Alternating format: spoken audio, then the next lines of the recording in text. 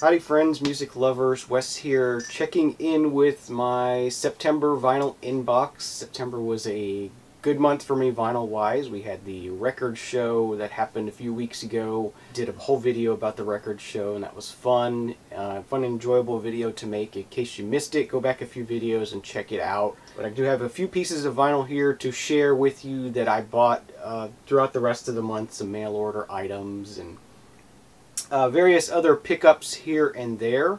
Uh, also got the chance to meet Chris and Marissa of Dixieland Farms. Uh, we went down to Universal Studios last weekend and met with them and hung out for the day and rode the rides and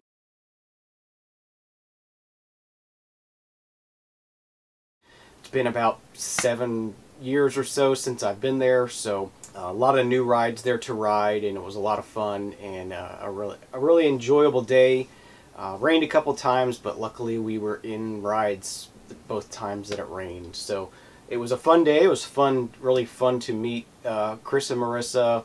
Uh, you know, it's been great to get to know them over the past few years here on YouTube, and it's always fun to to meet people in person and, and easily be able to vibe with somebody that, that you've been watching for a while. Cool to meet you guys. It was a lot of fun to hang out. Hope we get to do it again yeah, I guess that's about the, the wrap up of the month. Let's go ahead and talk about some vinyl here. First thing we got here is a couple of new pickups uh, that I bought this month. It's just some new releases. First one we have here is uh, the Electric Wurms. Uh, side project of Wayne Coyne and uh, Steven Drozd from from uh, the Flaming Lips. Just a two-piece sort of side project from them. Musik Die Schwer zu Twerk and yeah, if you're if you're familiar with any of the more recent uh, Flaming Lips releases, this has some of that similar sound to it. Very, very sort of modern psych fuzzy noise sort of work to it. Uh, not, I wouldn't say this is very very good really. It's just just okay. You know, this is this is definitely not great. This is not going to be winning any awards or anything. Uh, just some some interesting music, and I I typically try to buy the Flaming Lips stuff when it comes out. Insert with some uh, lyrics on it, download with it as well. And it comes on some pretty cool sort of purpley, pinky, marbled, sort of clear vinyl. So pick that up. I think these were, yeah, Soundstage Direct. I There was a coupon one weekend for 15% off and free shipping or something, so picked up these two albums. The other one I grabbed that time uh, is the New Earth album.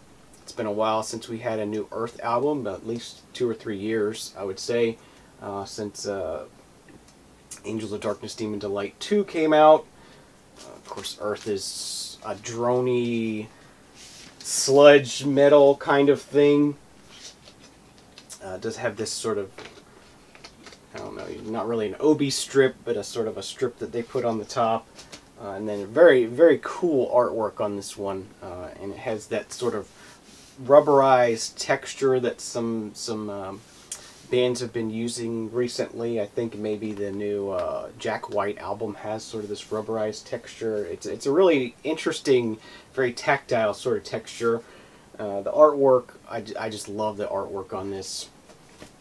Uh, really, really colorful and interesting and uh, really cool. Always, always the artwork on these uh, Earth albums is, is pretty awesome, and I, I love the music as well. It's it's it's it takes metal and makes it sound beautiful. Doesn't have all the screaming that I hate about metal, so uh, I really love Earth, and it was really cool to get a, a new album from them, and it's it's really good. I do suggest you uh, check this out uh, really enjoyable. And these are just on black vinyl, but pressed at Pirates Press, so very, very well pressed, very good sounding records, high quality stuff here, so good stuff, a good new album from Earth. I believe there was a limited edition of this that maybe was on white vinyl or something. Uh, not exactly sure. I think there was a limited edition that uh, came on a colored vinyl version, but those usually have to be ordered uh, directly from Southern Lord, and I didn't do that this time. uh, moving on, we got a couple pickups from the uh, Arrow's Aim record store, uh, which just announced that they're opening a new store uh, just a, like a block or so away from where they're at now, but they're going to have uh, three times the space that they had before. They had to, they started out with just a really very tiny store. Uh, it's, it's, it's very cramped, and the bins are always really full, so it's it's a, it's a lot of work to dig in there sometimes. But uh, it's it's a good thing that they're expanding. Business is good for them, and uh, it's it's a really good store, and I enjoy going there to dig sometimes. Uh, so the first thing we got here is an, yet another Tangerine Dream album. This is Cyclone from 1978. And yeah, just very, very more, uh, more spacey, uh, electronic rock, you know, krautrock if you want to call it that. Very cool album from them. This is a UK pressing on Virgin Records. Um, that one was twelve dollars, so not not a cheap album, but a very clean UK pressing of a Tangerine Dream album. I had to grab it. Uh, next up is a is a classic from my youth. Couldn't pass this one up. I've been wanting this on vinyl for a while. This is uh, Young MC Stone Cold Rhymin' from '88, I believe, is when this was released. Uh, '89. I Come Off, Principal's Office, Bust a Move, uh, Roll with the Punches, uh, you know, my Name is Young. Just one of those albums that I can uh, rap along to word for word. And really good classic hip hop album here. Uh, know, a really nice, uh, clean, pristine, minty copy of this. So that was eight dollars. Another one that was was not cheap, but for the for the condition and for something I really do want to own on vinyl, uh, it was it was a good price for me. Uh, along with this next one, another similar one from from my youth, another uh, hip hop album from my youth. This is Sir Mix-a-Lot's Seminar album.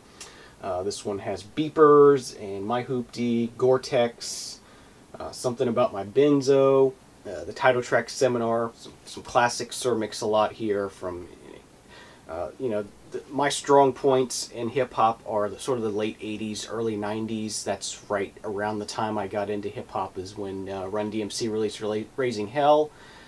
And just from then on, I was really big into hip hop until sort of the, the, the late 90s, early 2000s, um, when, when hip hop turned bad, I would say. I'm hoping for a reunion, a comeback of hip hop, so to speak, in the in the near future. Uh, I think it's kind of in a in down point right now, but uh, I got a couple of Discogs pickups here. Uh, first thing we have here is the debut album from Bubba Sparxxx, Dark Days, Bright Nights. Uh, Bubba Sparxxx is a southern white hip hop uh, artist, a great rapper. I love his his lyrics. I love his his use of words. Very very witty, uh, very much a throwback to that that late 80s sort of vibe of hip hop where it was very witty and very lyrical without being you know, negative or uh, you know using a lot of profanity or anything like that. Just very very fun very upbeat uh, kind of songs and, and very comical. Uh, so uh, grabbed that off of Discogs wanted to have that on vinyl. And then um, I'm not sure if this is his second or third album. I think it's the second album. Uh, this is his album, The Charm. And yeah, B Bubba Sparxxx gets over, I guess he gets overlooked sometimes. Uh, Eminem has a as sort of a, a big name in in hip hop, and I think Bubba Sparxxx is just as good as far when it comes to lyrics. Uh, doesn't get the respect he deserves, but uh, really cool to hear the, hear this, and uh, I'm glad to own these on vinyl.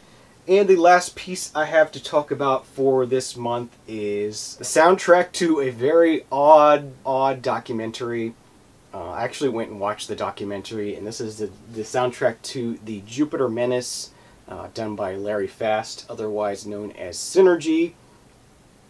Uh, so, so that very uh, sort of cinematic, electronic soundtrack kind of music, music that works really well for, for, for soundtracks. The Jupiter Menace is from 82, and it is a documentary posing that uh, by the year 2000, the Earth will be destroyed by magnetic polar changes and all these catastrophic weather events and everything.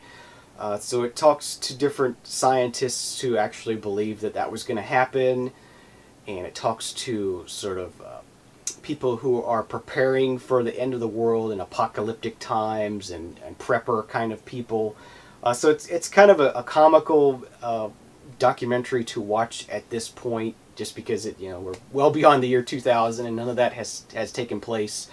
Uh, but you know, even today, there's people who are saying these kind of things, so it's it's not something to get to get too worked up over. It's just a, a sort of an eye-opening thing to watch. The documentary is in its full version here on YouTube to watch, so if, if you're in for sort of a, a funny, uh, there's some laugh out loud moments in it watching it from 2014 nowadays, so it's it's a funny movie to watch now, uh, but it's presented very in a very serious, you know, manner um, and so this is just some very uh, synthy, taking some themes from Holst the Planets. Uh, the, the director wanted to use Holst the Planets and was unable to do that.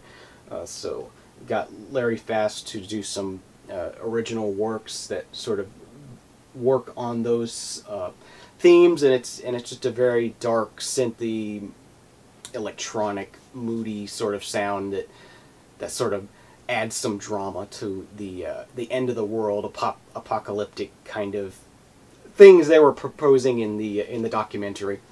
So those were my uh, extra pickups for uh, September, um, on top of what I got at the record show, which I uh, showed you a few videos ago. Uh, hope you enjoyed that. Hope you all are having a great week or weekend or whenever it is you're watching this. Hope you're enjoying yourselves. Have fun, listen to music, and we will see you again real soon.